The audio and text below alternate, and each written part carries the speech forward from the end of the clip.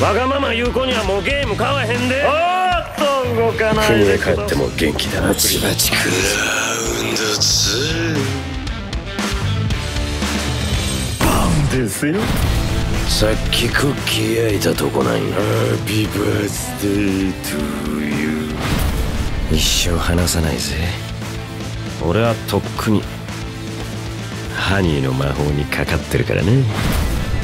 家の敷地に風呂かこの世界の文明度の高さは一体どんな説明がつくというのであろう？